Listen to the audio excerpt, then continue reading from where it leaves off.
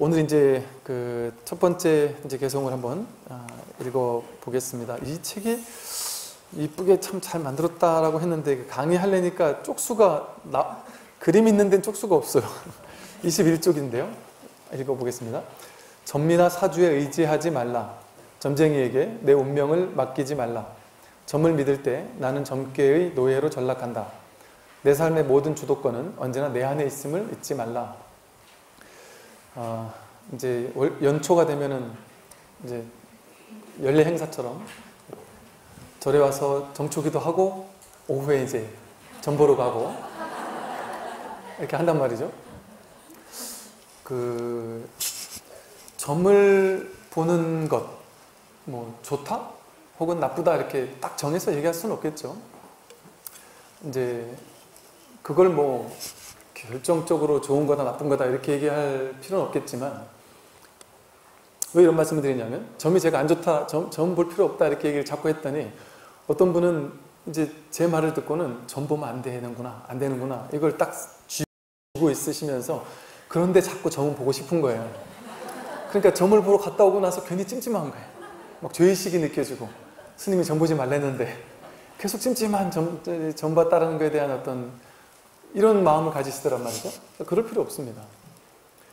뭐 그냥 좀 볼 수도 있고 안 볼 수도 있죠. 점을 보는 것 자체가 잘못된 건 아니죠. 뭐가 잘못된 걸까요? 항상 거기에 집착하는 게 문제입니다. 점을 봤다고 해서 그게 뭐 실체적인 죄가 거기 들어가겠어요? 그럴 일은 없습니다. 말 그대로 가볍게 재미로 보면 아무 문제가 없죠. 근데 거기 내가 구속되고 사로잡혀서 이걸 실체화시키기 시작하면 문제가 된다. 근데 제가 그렇게 될 수 있으면 보지 말라라고 말씀을 드렸던 이유는 뭐냐면 그냥 예를 들어 뭐 그냥 커피숍 같은 데 보면 무슨 타로점을 봐준다는지 뭐 이렇게 장난 삼아 보는 재밌게 보는 이런 거야 뭐 그냥 어차피 재미로 하는 거니까 그냥 할 수도 있겠죠 그죠? 그런데 그래 되면 내가 과하게 집착을 안 할 거니까 근데 이제 제가 저한테 와서 상, 상담을 했던 다수의 분들은 그런 가벼운 점을 보러 간 게 아니라 내 인생에 엄청나게 중요한 일이 걸린 영혼이 걸린 문제들을 점집에 가서 점을 보고 안 좋다고 하니까 굿도 하고 뭐 뭐도 하고 뭐도 하고 하면서 막 돈도 날리고 이런 일들을 벌이거나 혹은 아주 좀 심하게 어떤 우리가 아주 사이비 외도라고 할 만한 아주 삿된 이런 사람들한테 잘못 꾀임에 넘어가서 정말 뭐 돈은 돈대로 날리고 뭐 정신적으로도 너무 황폐해지고 이런 분들이 있었기 때문에 그런 분들을 제가 몇몇 분들 뵀다 보니까 너무 안쓰럽고 너무 가슴이 아파서 그거 뭐해 보러 갑니까? 보러 갈 필요 없다 이렇게 얘기를 한 것이죠. 이제 마치 뭐와 같으냐 그 이제 이런 거예요. 점을 보러 가려면 점 보러 가는 심리가 뭘까 생각해 보니까 내가 이제 이걸 해야 될지 말아야 될지 이 투자를 해야 될까 말아야 될까 뭐 이렇게 가는 게 좋을까 저렇게 가는 게 좋을까 내 아들이 이 대학을 가는 게 좋을까 저 대학을 가는 게 좋을까 내 남편이 회사를 해, 도 되는 게일까 안 되는 게 좋은 걸까 뭐 이런 거에 내지는 내가 노후에 건강하겠느냐 노후에 우리 집에 우환이 없겠느냐 뭐, 뭐 이런 것들이 아마 궁금해서 어, 가겠죠. 뭔가 결정을 내려야 되는데 결정을 못 내리겠다. 그런데 손쉽게 점쟁이한테 가서 딱 내려달라고 하면 속편하니까 그냥 딱 가서 내려달라 할 수도 있겠죠. 그런데 그게 이제 지혜로운 선택에 있는가? 점쟁이가 100% 100% 맞추겠 맞, 맞춘다라는 보장이 있다면 모르겠는데 100% 맞출 수가 있겠습니까? 100% 맞출 수 있다면 본인이 남들을 더 잘 알겠어? 나를 더 잘 알겠어요? 남보다 나를 더 잘 알아야 되잖아요. 근데 점쟁이라고 해서 자신의 인연, 자신의 업, 업을 다 비껴서 갑니까? 그럴 수가 없습니다. 그리고 인연이라는 것은 불교에서는 이러잖아요. 그 인연 따라 산다. 생각을 가지고 과거나 미래로 막 연연하고 해석하며 살지 않고 그냥 인연 따라 주어진 삶을 산다. 이러거든요. 인연을 받아들이면서 산다. 왜 그러냐면 나쁜 일이 일어나면 안 된다고 생각하잖아요. 우리 머리는. 그죠? 나쁜 일이 일어나면 안 된다. 이게 뭐랍니까? 그, 그 무슨 사자성어가 있죠? 그, 그 뭐더라?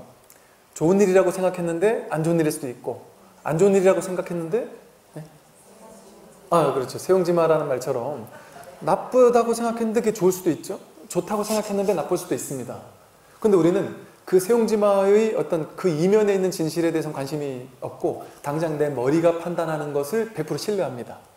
머리가 생각한 게 옳다 이렇게 생각해요. 왜? 우리는 세상을 내 식대로 해석하는 거에 익숙하기 때문에 내 식대로 해석해놓고 이게 맞아. 나는 이것을 알아. 이렇게 생각합니다. 그게 의식이 만들어내는 세상이에요. 의식, 자신의 의식, 생각이 옳다고 생각하면서 만드는 세상.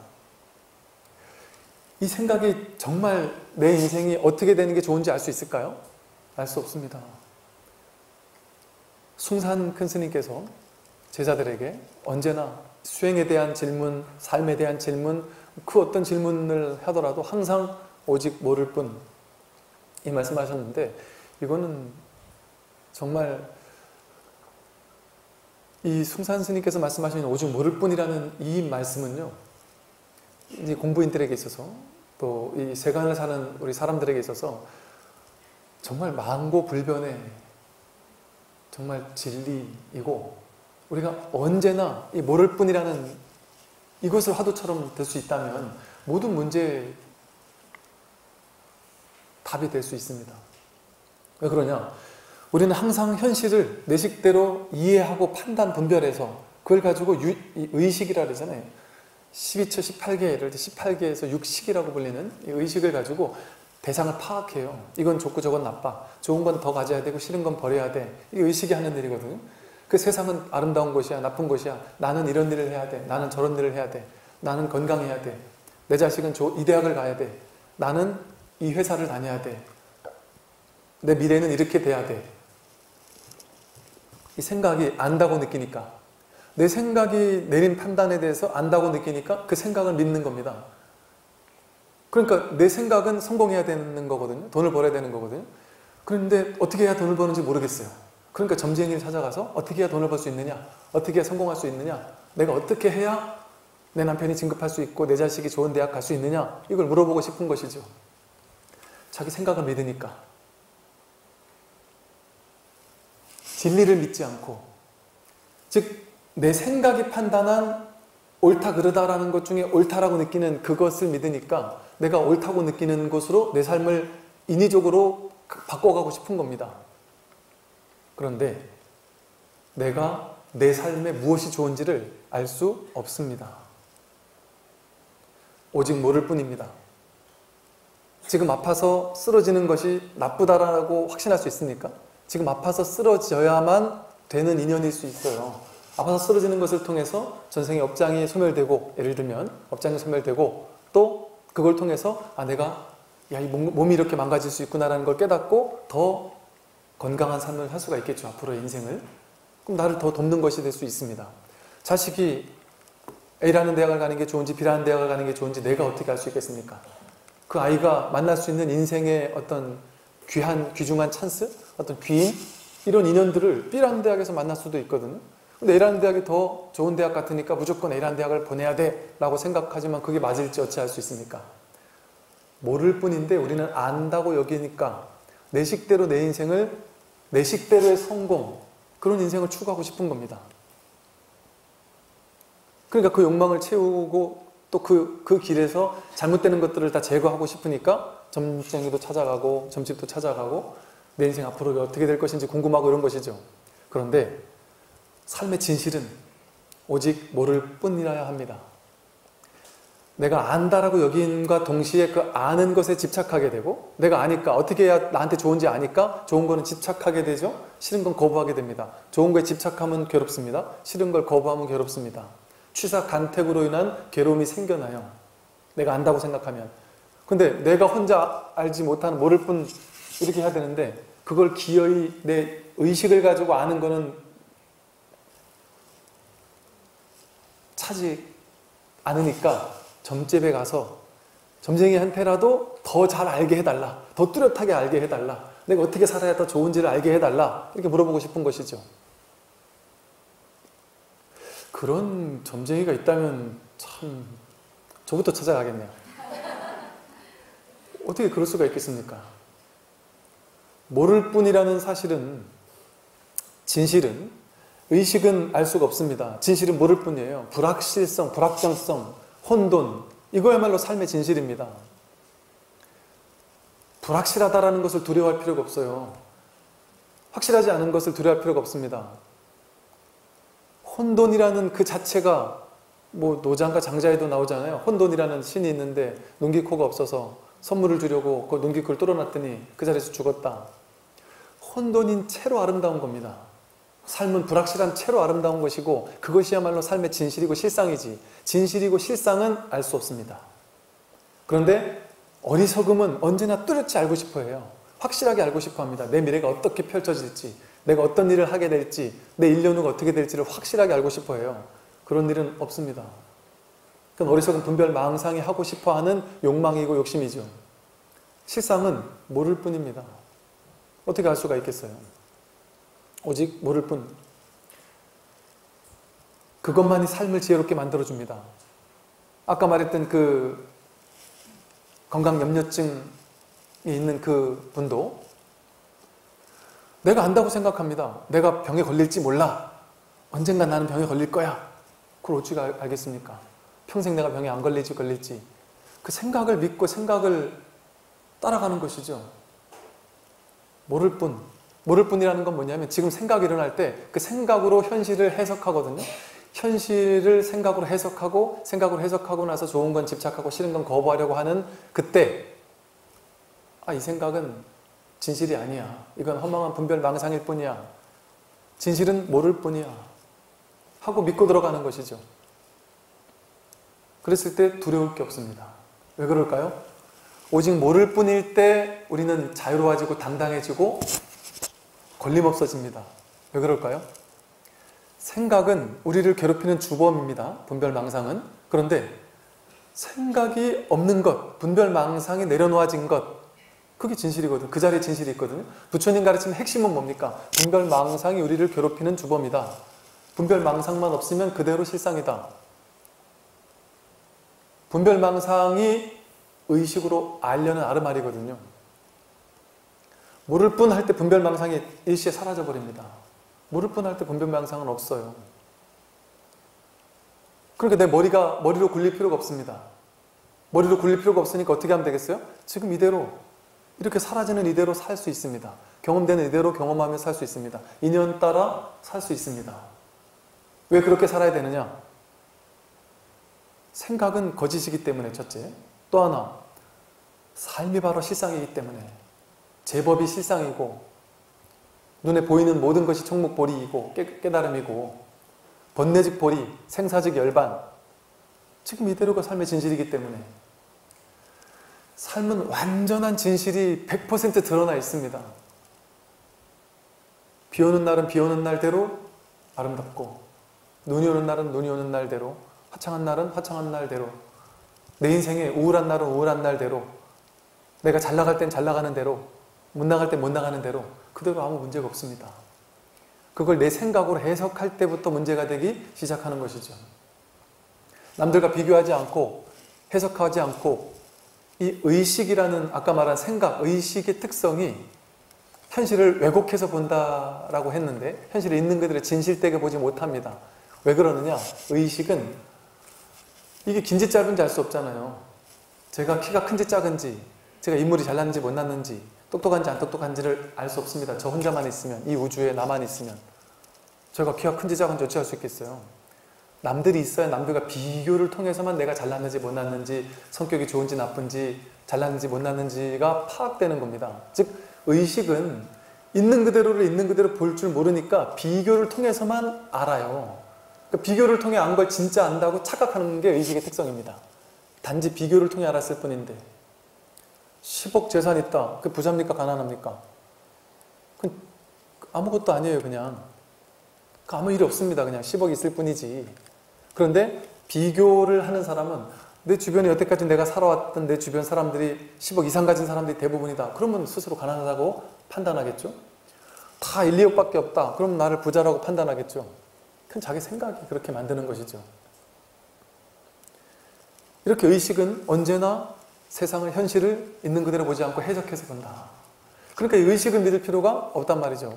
그렇게 되면 미래에 대해서 미래를 미래가 이렇게 됐으면 좋겠다 저렇게 됐으면 좋겠다 미래에 내가 어떻게 될까 그걸 궁금해하는 마음이 다 분별심이잖아요 생각이 궁금한 거잖아요 다 생각이 일으키는 망상이잖아요 생각이 일으키는 망상을 충족시켜주기 위해서 내 생각도 머리 아파 죽겠는데 남의 생각까지 무당하는 점집 그, 그 사람의 생각까지 내가 부여안고서는 내 생각을 집착하는 것도 괴로워 죽겠는데 점쟁이가 그것도 점쟁이가 예를 들어 뭔가 아주 신비적인 인상을 풍기고 뭔가 하얀 수염을 기르고 뭐, 뭐, 뭐 머리도 희한하게 깎거나 옷도 막 희한한 옷을 입고 주변 분위기도 막 아주 희한한 이런 모습을 연상하면서 얘기를 하면 더 실체적으로 느껴요 우리는. 더 진짜라고 믿어버려요.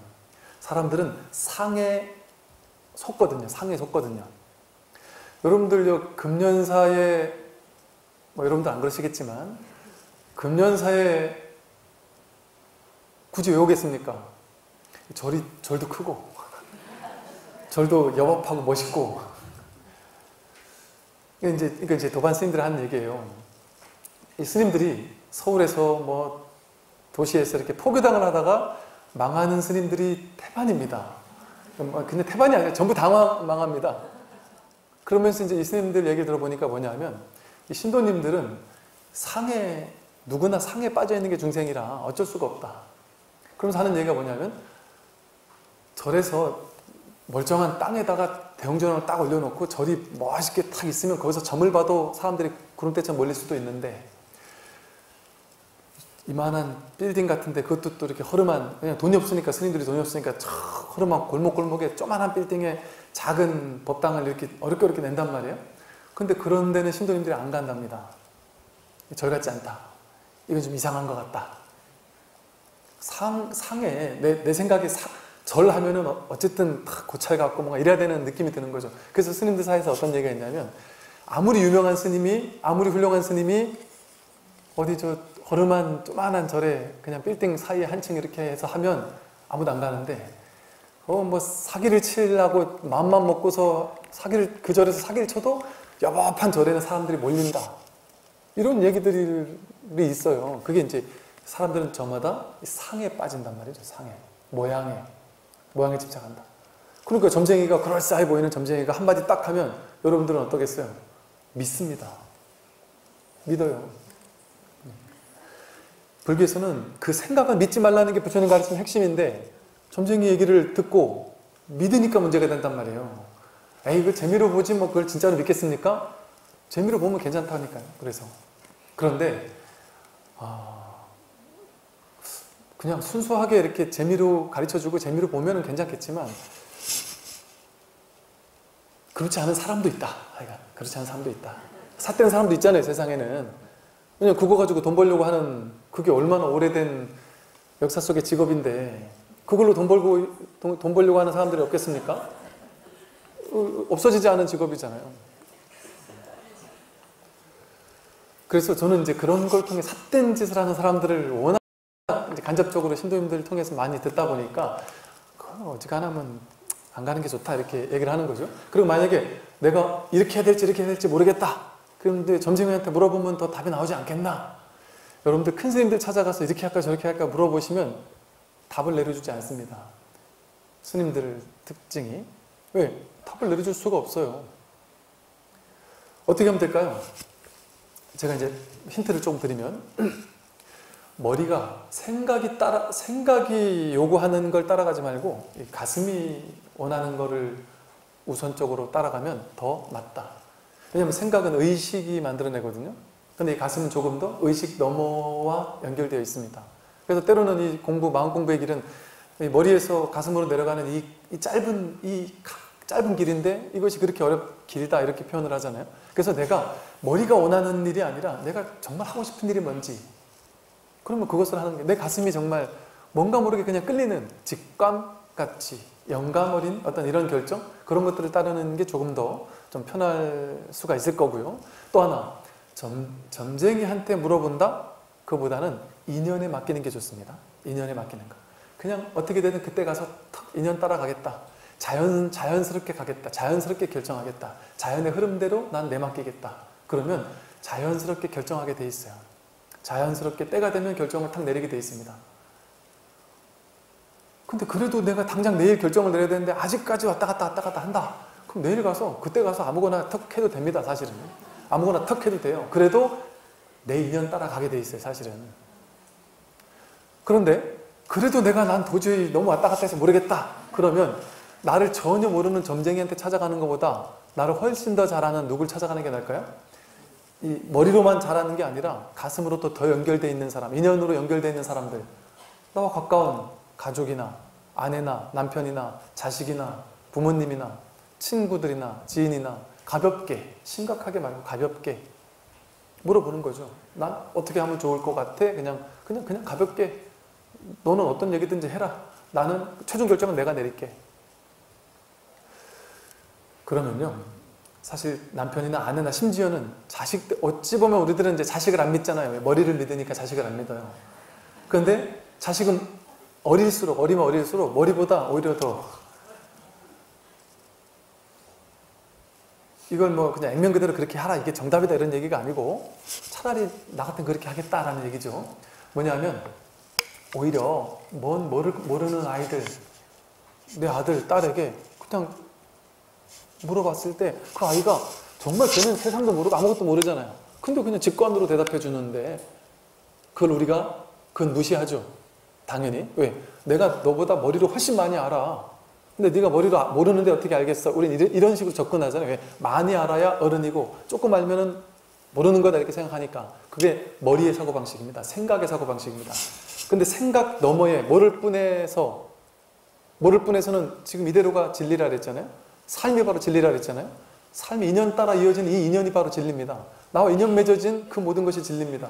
그래서 어떤 힌트들이 있느냐 하면 예를 들어 A, B 중에 뭘 해야 되나 막 고민하는데 아들이 엄마는 나한테 얘기해봐 나한테 내가 다 얘기해 줄게 그러면 농담 삼아 애한테 편하게 물어보는 거예요 근데 얘가 아 그럼 A로, A로 해 그것도 하나의 인연에 따른 하나의 답이 될 수 있어요 무조건 그걸 따라라 뭐 이런 얘기가 아니라 그러면 야 딸은 너는 어때?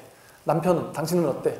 몇 사람들이 물어봐서 그걸 참고해서 내가 그냥 해도 되는 거예요 왜 이것은 안 된다고 생각한 이유는 뭐냐 하면 생각을 믿으니까 지식을 믿으니까 우리는 어떻게 누굴 찾아가도 찾아가도 누굴 찾아가요? 나보다 똑똑한 사람, 나보다 많이 아는 사람, 나보다 똑똑하고 나보다 많이 안다, 안다고 해서 삶에 대한 답을 알 수는 없습니다. 네, 삶에 대한 답은 지식으로 내려질 수가 없기 때문에 생각하는 대로 다 됩니까? 인생이? 안 돼요. 인연 따라 됩니다. 노력을 나는 노력을 열심히 하면은 성공한다는 걸 반드시 믿습니다. 그렇게 안 됩니다. 될 수도 있고 안 될 수도 있잖아요. 여러분들 인생 살아보니까 알잖아요. 노력했는데 안 되는 거 있죠? 있어요. 노력하면 무조건 되고 노력 안 하면 안 된다? 사기를 치면 무조건 잘못되고 사기 안 치고 정직하게 살면 무조건 성공한다? 그렇지 않을 수도 있습니다. 사기 치는 놈이 잘 될 수도 있어요. 눈으로 보는 현실에서는. 왜 그럴까요? 우리 눈에 보이는 그 인과가 전부가 아니라서 그래요. 우리 눈에 보이는 인과는 하도 제한된 것밖에 못 보잖아요. 그래서 모를 뿐입니다. 우리가 왜 그런지 알 수 없어요. 그걸 내 머리로 알려고 해봐야 답을 낼 수가 없습니다. 중중무진으로 이어진 연기 속에서 그 답을 낼 수가 없어요. 머리가 답을 낼 수 없습니다. 근데 내 머리도 망상인데 점쟁이 머리까지 빌릴 필요가 없다. 그래서 삶을 믿으면 돼요. 삶을. 인연을 믿으면 됩니다. 자기 삶에 그냥 턱 내맡기고 그때 가서 내가 하고 싶은 거 그냥 하면 됩니다. 가슴이 원하는 걸 하면 된다. 그리고 뭐 굳이 원한다면 주변에 가까운 사람들한테 한번 가볍게 물어보고 그걸 참고하면 된다. 그리고 그래서 결론적으로 어떤 걸 결정 내려도 그게 진리입니다. 아무거나 결정을 내려도 그냥 고민 안 하고 결정 내리든 고민 무진장하고 결정 내리든 그게 진리예요. 내가 내린 결정이 진리예요. 내가 어떻게 하면 진리의 결정을 내릴 수 있을까요? 그런 거 없습니다. 내가 내리는 게 진리입니다. 그게 설사 잘못됐다 할지라도 여러분들이 어제까지 살아왔던 삶, 그 수십 년간의 삶은 단 하나도 잘못된 게 없습니다. 그때는 그것이 최선이었어요. 아무리 잘못을 했다 할지라도, 아무리 죄를 많이 저, 질렀다 할지라도, 그때는 그것이 최선이었고, 그때 내가 이기적이었다 하더라도, 그때 이기적일 수밖에 없었던 나의 중생심. 그걸 어쩔 수 없었던 것이죠. 그걸 지금에 와서 탓하고 미워하고 원망하고 죄의식에 사로잡히고 그럴 필요가 없다. 지금 이 순간이 이것만이 진실이기 때문에 이미 지나간 과거를 가지고 그럴 필요가 없습니다. 제가 전에 말씀드린 것처럼 사자가 배가 고플 때마다 토끼도 잡아먹고 사슴도 잡아먹는데 사자는 평생 얼마나 많은 살생을 저지르는 범죄자입니까? 사람도 마찬가지죠. 매일 고기 먹잖아요? 그럼 그 죄인인가요? 그 죄인이라고 할 수가 없어요. 사자는 막 전부 다 지옥 가 있겠네요. 인연 따라 사는 것이죠, 인연 따라. 그래서 어, 과도하게 내 생각을 믿을 필요가 없고 그래서 이제 사실은 과도하게 이렇게 점을, 점, 점을 보고 그럴 필요가 없죠. 보게 되면 자꾸 내가 휘둘리니까 거기에. 그러나 뭐 어쩔 수 없이 그냥 봤다거나 친구들이 막 그냥 봤다고 하면은 그걸까지 욕할 필요 없어요. 그냥 야 같이 가자 이러면 난 별로 가고 싶지 않은데 야 그래도 우리 같이 같이 가자 이러면 그냥 같이 갈 수도 있고 뭐 가고 말고가 뭔 문제가 있겠습니까? 가고 말고 아무 상관없어요. 거기에 과도하게 집착하지만 않으면 된다.